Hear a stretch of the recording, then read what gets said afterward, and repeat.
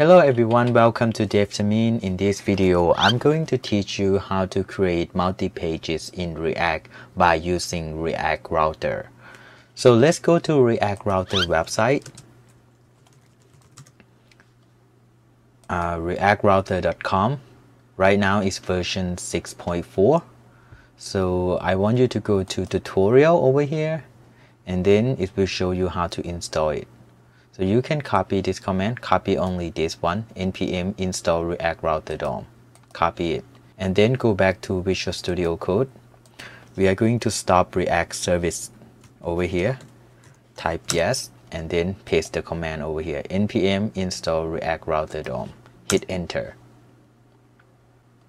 Alright, after you have installed React Router DOM, you go to package.json you will see React Router DOM over here. Okay, the next thing that I want to do is to integrate React Router DOM to our React application. Let's go to index.js over here and then go back to this tutorial. I have read this tutorial already, so I'm going to show you how to integrate React Router DOM into React right now. So you just import these three components to your application from React Router DOM. So copy this one, go back here, and then paste this over here. Okay. The next thing you have to do is to create router to specify each route in your website by using create browser router. Alright, copy this one, paste this over here. This creates browser router is import this over here. Alright, we get the first route over here. So we have to integrate this router to our application. Okay what can we do? So we use router provider and then we include router inside.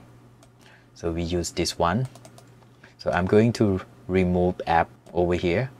So then I'm going to use router provider. And then we uh, pass in router and we pass this router. Okay we save Okay, next we can run npm start. Okay, our application is running right now. When it's finished loading, you will see hello world over here. Hello world is, is this one in our code. Okay, so how can include app in this one? So we just include app directly over here. Instead of put app over here, we move it in here. So this is the path which is the URL over here so this path right? We get this one all right? So how about we create another pages? So I'm going to create a folder over here inside source. I create new folder and name is pages okay? And inside here I can create blog page blog.js okay? Rfce hit enter I have block component over here. So I can include uh, navbar over here. So let me import navbar component. Okay, we got we have navbar component. Alright, then we include navbar over here. And here we can create div. And then we put block page. Okay, save. Okay, right now we get, get this page, but this page is not in our application yet. We have to integrate it over here. So we have to specify the path, copy this one, put here, the path is block, right?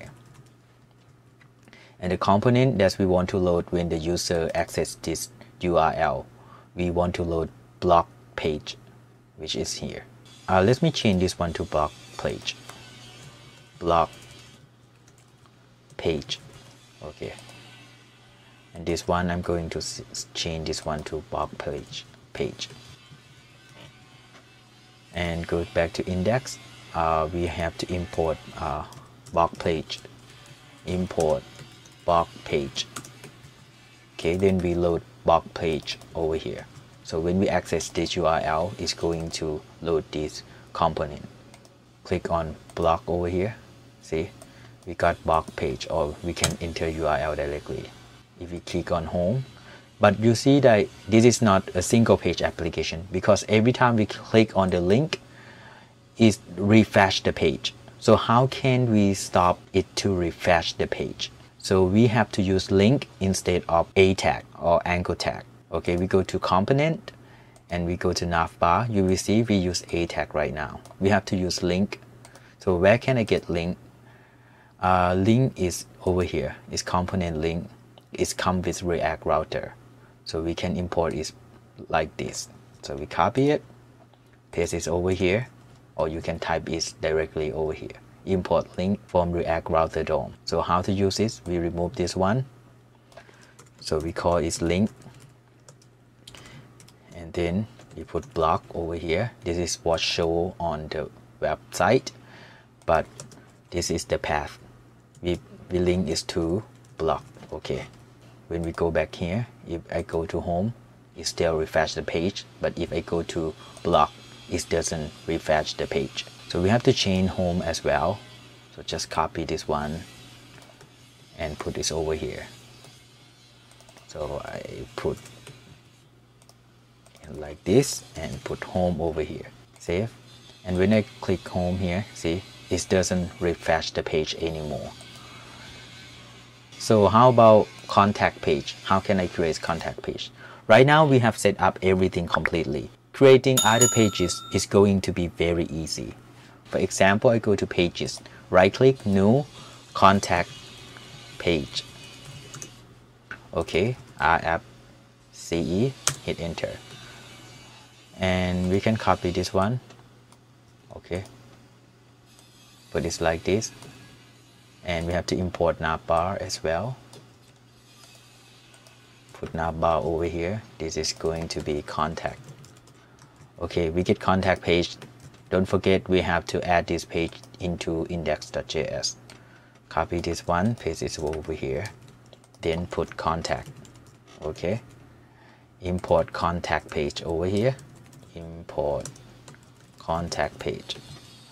And then load contact page over here. Okay, save. So if we go here, we type contact. So it's load contact page. Alright, what next? we have to change this uh, link, right? Because right now it's just anchor tag. Uh, let's go to navbar, remove this one, copy this one, and put contact over here. This is going to be contact. Save. Okay, you can see it worked perfectly. Alright, what's next I can do? As you can see here, the code over here is repetitive. You see blog page, the code is almost the same. So how can we reduce the code? We are going to use layout. So let me create layout folder over here. Layout. So I can create here new uh, main layout.js. So rfce. Okay, I can copy the layout from here. Just copy this one. Put this over here. And we have to import navbar okay let me format document okay and this one is where the content appear okay instead of put content directly in this div in main layout we put children okay curly brace children and over here we put children in parameter in function okay? It's going to be like this. We are going to pass children and show children over here. In blog page instead of coding like this we are going to import main layout okay?